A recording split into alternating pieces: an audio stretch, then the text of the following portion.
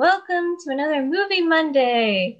Um, these two decided to subject themselves to watching a bunch of um, Hollywood blockbusters that tanked for multiple reasons. And then some. Yep. and then some. So, the first one that they decided to watch is Avatar: The Last Airbender, the movie Yep. by M. Night Shyamalan. hmm And uh, do you guys have any opening things that you want to say before I go to my interview question? Should I say the one thing that outraged me? I don't. Well, with the, the one Besides thing. the fact that everyone's fucking white. Wait, the one thing. I, Wait, wait, wait, you'll come back to the white question. Well, okay, whatever. enough, Well, okay, then actually say question. my say your thing because I actually don't know what you're gonna say now. They made Appa swim! Oh yeah. Appa swims in this movie and he's a sky bison! They made him swim to the North Pole! That is animal cruelty. Okay, that's all I wanted to say. okay. All right. Uh, I, I guess I guess I will begin with my questions. I have prepared 10 questions for you guys. Whether or not we'll actually get to the 10 questions is okay. up for debate, but We're gonna see if this interview style works for all of the other ones. Who so- knows? yeah. Um, okay. So, just a forewarning, I kind of did not go with the very obvious things that I, I could obviously ask about, like how they pronounce things and stuff like that, but that's stuff everyone knows, so we're gonna gloss over that. But speaking of that, first question is between the name pronunciations and the very obvious whitewashing, which annoyed you more? the whitewashing because at least the name thing we could make fun of it. Hmm. Um, you know, wait, Valen, should we just like say everyone's names as they're said in the movie to just Sure. Okay. bastardize it? So there's more? let's see. Okay. There's Ong. There's Oh. uh Soka, Soka. and Ito. I think that's it. Although I just started calling Qatar cataract just because I felt like it, but like you know. Oh my god. Um, but yeah, I the thing is, it doesn't even make sense though. Like because even in like the Water Tribe, it's like yeah, like Sokka, Qatar are white, but like the other like random characters in the background are There are Asian. Inuit people, or at least like Asian-looking people. They could Really? be Mongols. Yeah. I'm not sure, but then but when there they get, are Asians. but then when they get to the Northern Water Tribe, then they're like all white again. So Everyone's Russian or something. it's, it's yeah, it's like inconsistent as fuck. So the tannest person they made in the Water Tribe is Yue, and Yue is like, is it? At least I'm I'm not re- I don't remember, but is she the palest of the Water people, Water Tribe people? I I don't re- like because again, obviously the hair, but I don't remember like let me just fucking Google an image. I don't her. remember either, but Yue has the the most tanned skin. I mean, it's not that tan, but Yeah, but it's still the most tan because she's like Latina, okay. Well, she is like the lightest, I guess. She is lighter decently fair compared Okay. to the others. still. Yeah. Well, She yeah. had the tan is tan. Oh boy. That's So, not saying much. I, I guess the conclusion to that question is the whitewash. Yeah. yeah. hey, second question. What was the scene where CGI was basically at its worst in the movie? The fence post? Oh yeah, Th- there probably. There's a scene where like, uh, it's when Ong's like Ong. Oh my god! See now I'm fucking getting Ong. messed up. Um, he, he he's like being tested for his waterbending abilities, and like the remember, remember like the the sexist waterbender teacher guy. Yeah, yeah. So he's just like there, and he's like a nice dude. And he's there for like a minute, but anyway, yeah. um, oh yeah, so but he's like testing him, and he does this thing where he's like, it seems like he's like surrounding him by like ice, but it literally looks like fence posts. It looks like really weird.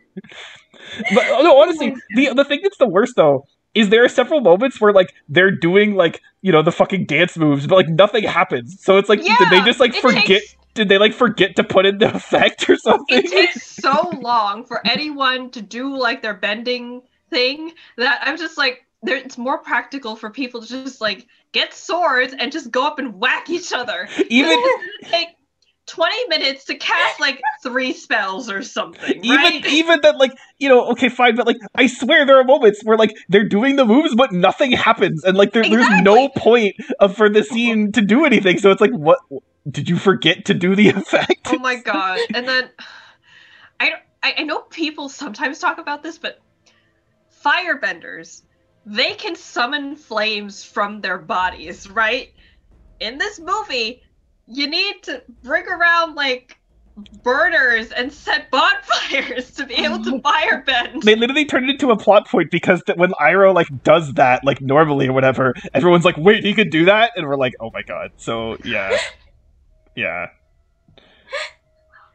Oh it's so God. inconsistent. Also, also, okay, you know the like the finale of season one has like basically Aang summons like a giant like fucking like water monster thing or whatever. Mhm. Yeah, yeah. That just doesn't happen.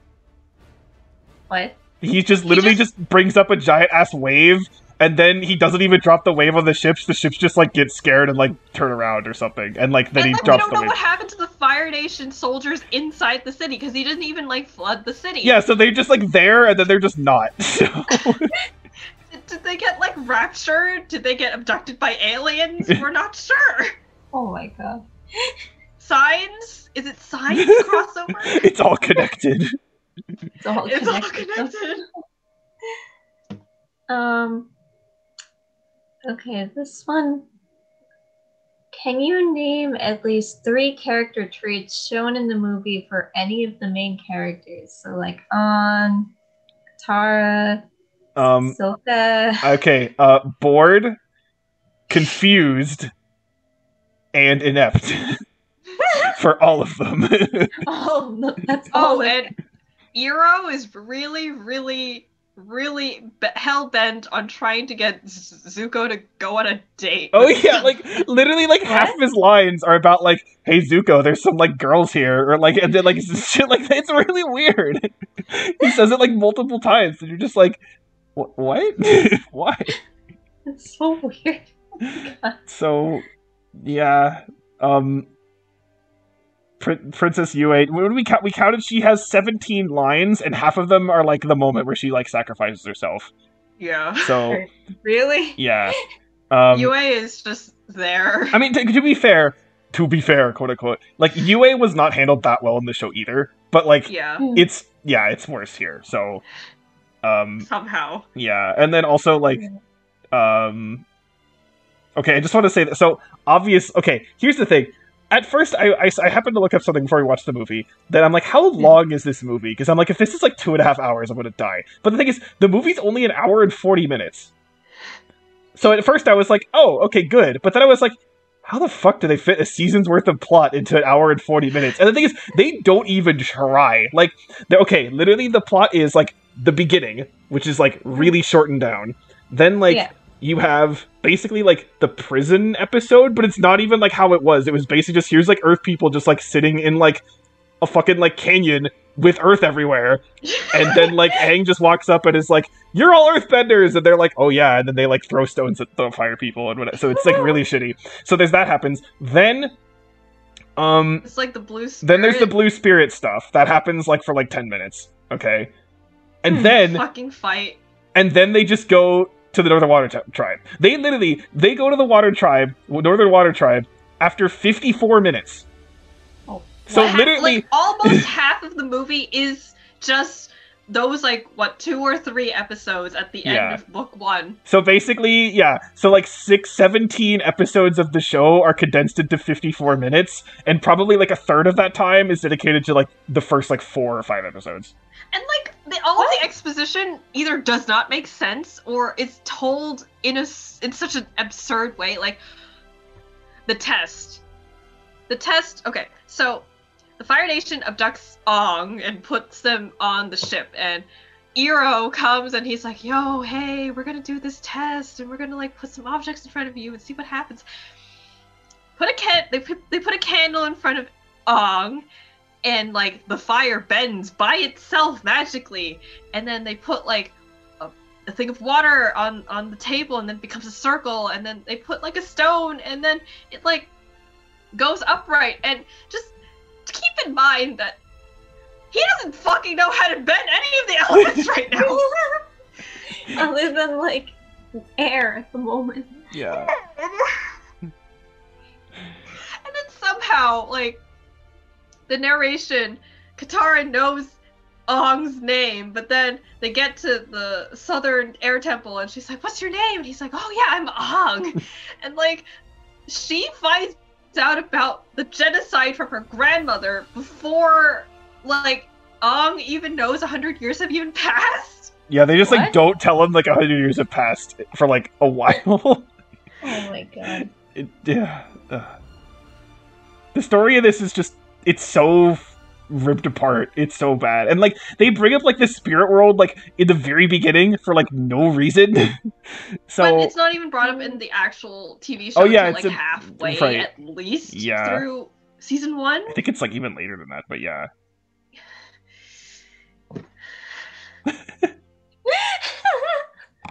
You guys could see my face right now.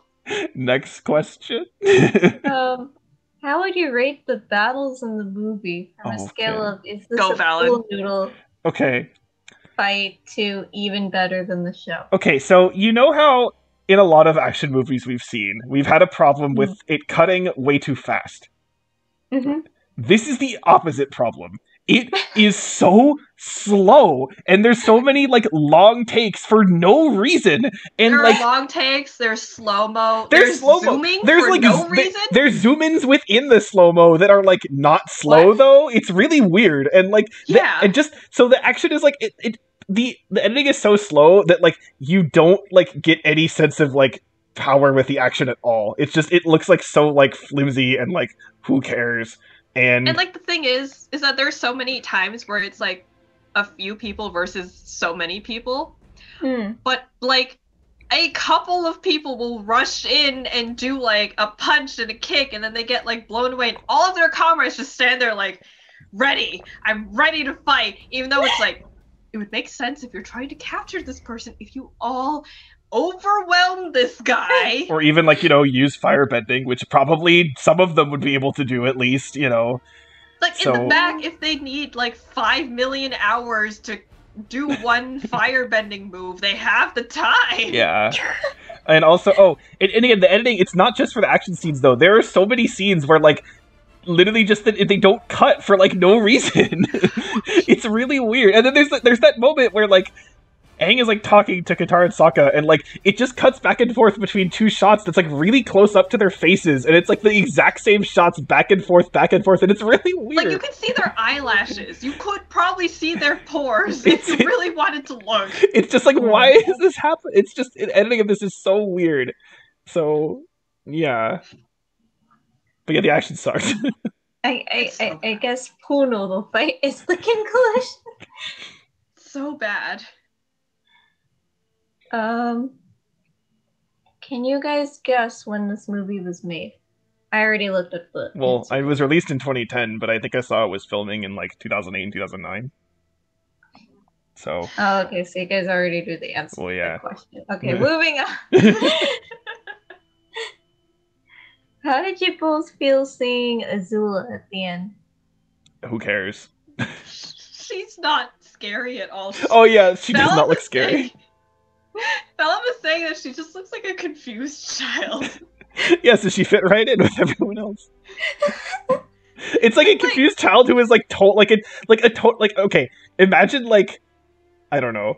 I guess well i, I say okay like try to i'm just thinking like try to imagine like tara if someone told you to like look like evil like it doesn't work because you don't look evil. So, it just seemed look like here's some like nice kid who's like being told to look mean it doesn't work and the the thing is that she she's only like what two years younger than Zuko, actually, and she looks like she's like Aang's age. Like she looks like 12. 13 while zuko looks like 22 Yeah, Oh, and like the height difference between him and like the the white the white boy who plays Aang, he's like Aang like, Like- literally comes up to like his lower back. his lower back or something. And he's supposed to be like 12, and I'm just like, this kid looks like he's 8 or 9! And he's with his dad! Also, Iroh looks like he's like 40, like not even that old. He's Oh my yeah. god. I I commented there was this other uh like old dude I think in the Earth Kingdom and I was like he looks like he could be Iroh. Oh yeah, yeah, yeah. Because he had the gray hair, the beard, everything, and I was like, what the fuck were they thinking? All right. I guess this leads into the next question, question seven, which is how sad did it make you feel that they thought they would be getting a sequel? Look, like here's They the thing. I, I mentioned this because like you know Jet is not in this movie at all, right? And No. like Yeah. see in season one, Jet doesn't seem very important. So like okay, fine, but like he's very important in season two. So like Yeah. how like would that supposed to have worked? And like um what's it the forgot his name. There's Suki isn't there either. There's no Suki. Um the there's like the the Earthbender like old Earthbender guy who like is some Bumi's yeah he's there. he's not there. So like there's all the, of these the people. dude for Katara and Sokka's not there either. Like none of the side characters. Yeah, and are again, there it's like- besides Yue. Eh? like you could maybe argue that okay they're not important for season one but like they really are important for later stuff so it's like this doesn't make any sense also i just i just looked up the guy who plays Iroh in 2010 he would have been 47 oh my god. Oh my god. So so youthful. yeah so yeah it just it doesn't make any sense that like even from a story like even ignoring the whole fact like the movie's bad so why would they make a sequel but like even from a storytelling perspective they did not set this up for the sequels at all No. So, besides the really generic stuff of like the Fire Lord exists and he's bad, like that's like that's it. Also, the Fire Lord of this is like really lame. He just looks like some dude who like talks like slowly. Yeah, like he's just and then there are these points where like Zhao says that you know, the Fire Lord doesn't love his son, like he literally says it to all of the soldiers on their ship and then at some point he's like, "Yo, I think Zuko's the blue spirit." And Ozai's just like, "What the fuck did you say to my son? Yeah. I hated him. You banished him and gave him scarring emotionally and physically. Like, leave him alone." oh well, speaking of scarring, Zuko's scar is like really minimal, but It looks like blush Yeah. applied to his face. He Oh, just wanted to be pretty. Yeah. Makeup was not his jam. He'll always get better though. Oh my god. Hmm.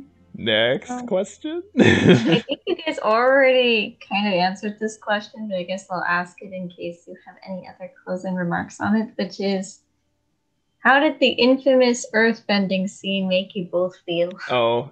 Yeah, I mean, again, we we've both like seen that clip referenced so many times, and it's like we knew it was coming. It, it Yeah. is what it was. I don't know. The It- one the- Asian guy in the front of the Earthbenders, so he was having a fun time. the thing that like and the thing that like because I've heard so many talks about that earthbending scene, but just like it, like all of the other earth like all of the other bending was so slow and bad too. Like that's what I think hit me more was that just like how many times it was like I'm gonna twirl around for like two minutes and then like I get like a fucking sprinkler. It's like I don't know. It- it's like that was the thing where it was like it, it's not just that scene. Like pretty much every time there is bending. Well, some of the fire bending is kind of quick, but again, like they have to use torches. So Ugh. yeah, like all of the earth bending is slow ovens. pretty much all the water bending is slow. Yeah. Okay. My last two questions are probably better for the well, my, the last questions definitely for the end. But I guess question nine is: Is this movie even worth watching? Ironically, Uh, It depends. okay, not alone. Do not watch this No. alone. But if you have someone else to watch it with and just shit on it, then like it's not like I didn't like how do I phrase this? This didn't make me angry because Mm. it was it was like it was bad. It was like kind of entertainingly bad and also just kind of like what's the word? Impressively bad where you're like, wow. yeah, this reminds me of Cool Cat. Like, it's not enjoyably bad like Fateful Findings was, Mm. But I think it has that cool catness to it where you're just laughing at how awfully they handle certain things and just how much they fuck up the story that was hand delivered to them on a silver platter. Yeah. But I don't the, know. The incompetence is really something because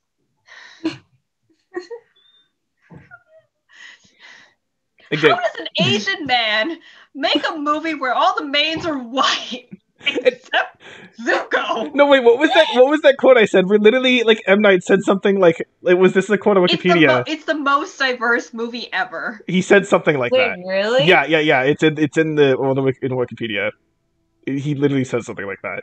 And then I was like, where are the black people? And then Valen was like, apparently there are black people. And they are there for two seconds, and that's it. They're like, Isn't it like one random Earth like? It's like Earth? some random Earth village, and you Yeah. see like a couple of them for two seconds, and then they're gone. And I'm Yeah. just like, that's the black representation we get for Yeah. this movie. Oh, and also- Am I dare sense that? I want to mention this. Um, I don't know if this is true, but I swear I remember something like this. I think the girl who plays Katara. Um, Hmm. I remember hearing that like the only reason she actually got the part was because like her dad or something was like a- a major investor or something.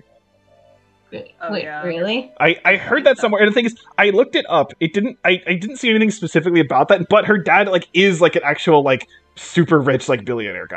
I know So someone said Hmm. it, some other reviewer, but um, uh, the the girl who plays Yue, she went on to voice Asami later on. So there you go. which is something I guess I don't know. Yeah. She got more than seventeen lines at least. uh, yeah. She lives at the end, I guess. She she had a better romance arc. Which isn't even. It's not even that good anyway. But sure. Actually, okay. I want to kind of speak to that. Like, I know this is not like discussion about Korra, but like, I remember like this year I was like talking online about like shows with like uh like gay relationships, like especially kids shows, and I was like, Mm. yeah, like I was talking about a show that had like just recently aired, you know, in like the last few years. Like, I think this was like the was this like the first like you know time when like uh in an animated kids show like the, the one of the main characters in a gay relationship, and someone was like, uh, Korrasami, and I'm like, wow, I completely forgot Korrasami existed because of how was- forgettable it was. That was not very Uh, explicit, I guess. Their really, I'm sorry, I, their relationship is just not handled well at all. And I know people are like, oh, but like it was in like 2014, and people were like, uh, uh, okay, fine, but like as itself, it's it's not done well. I'm sorry, but anyway, it, yeah, the Yue here, no, literally, okay, like once they show like Yue and they show like the guys like you know like walking up into the Northern Earth Kingdom or whatever, it's literally just shows an image of Yue and Sokka like staring at each other, and, it, and it- literally it's just voiceover like Sokka became best friends with Yue or something. Like that's like that's how it's introduced. there's a, there's that scene where she's just like, "Yo, it, it's been such a nice few weeks with you," and we're just like, That's "Excuse that's me?" literally no. That is the first line she says. Is it's been a great few weeks with you, Sokka, and it's like. It's been weeks. it's been, I feel like it would been like an hour. yeah, I, I. The story is just—it's so random. What they decide to use, what they don't use, how they use things that that they do use. It's just so weird and bizarre, and like, yeah, I don't know. I don't. I didn't come away like angry from this. Actually, this is a, that's the question I was gonna thinking of asking. Hmm? Uh, are we giving these movies ratings? Oh, great, great segue Okay. into my last Oh, I guess question. that's question ten. Yeah, question 10. Okay. So, so, you guys are not going to be giving these ratings with the chart because we're purposely watching bad movies, and I don't think that's much like with the old Hollywood films. It doesn't seem right to like give them ratings and stuff like that. However, you guys can still rate them on a scale of like barf bad to like uh, I, I couldn't come up with a catchy title for like to meh I guess. Well, because here's here my my thinking was that we maybe could rate them because like in terms of like you know these They are big budget. bi- recent big budget Hollywood movies, so they do Hmm. fit the category of all the other stuff. Now, the one kind of caveat is that again, it would be two of us rating it, not three. So, I mean, I could just like have our two ratings and then like I don't know multiply them by one point five or something. But like, Yeah, you could do that. because I, I feel could, like I yeah. kind of do want to rate it. I don't know. What do you Yeah, you can. But Okay. basically, my last question was, "What is your rating?" okay. So, So we're not doing the whole like ten dinosaurs out of ten or ten broken laptops out of ten. No, Like I think we should actually do a rating because this again, the idea is that like this is you know what the kind of movies we have been seeing theoretically. That's true. So All right. Okay. Uh, Okay. Okay, alright, so what do you guys- my rule for like bad ratings is I'm not going to give something a zero unless it makes me like actually angry. Mhm. So this is not a zero. this is not a zero.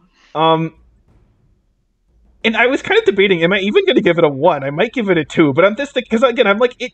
I wasn't like miserable with watching it, but I'm like, you know, it's just so fucking incompetent though.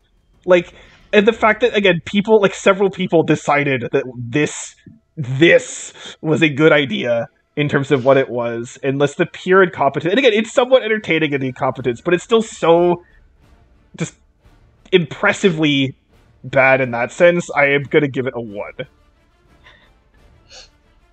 I have to look at the chart because this this is definitely below anything I've given Yeah, so I, it- far. like I, I could kind of see the argument that it's at least like a little bit like entertaining in terms of how bad it is to maybe give it like a two, but I think I don't think I can do that. I think I'll also just give it a one because I feel like if I watched this by myself, I would have actually just stopped watching it. That's also the only true. reason that this was any bit entertaining was the fact that I had another idiot with me watching this. yeah, that's that's completely fair also. But uh, yeah, I will say it's not a zero. yeah. We can agree that that it's not It's not a Okay. zero. It's not a zero. It's not rage inducing. It's also again, it's not it's not like super boring because again, how of how like bad it is. Like if you know the actual story, which most people do, like if you've actually watched the original TV show, then you can just be like, wait, that that's not that's not right. That's not right. That's not right. How did they get that wrong? Yeah. Like how how did they get it wrong that that's not supposed to be swimming? He's a fucking sky bison. He's supposed to probably just fly. the Wikipedia page. To be perfectly honest. I know, and like okay, Appa honestly does like fucking nothing in this whole thing. He's in like three scenes, and that's it. yeah. And he doesn't Momo the C- in it? CGI doesn't look very good either. Momo does basically nothing too. He appears like twice in the whole Yeah. movie, I think. Wow. So yeah, it's it's bad, but I don't know. There's at least some kind of entertainment value, quote unquote. I don't know.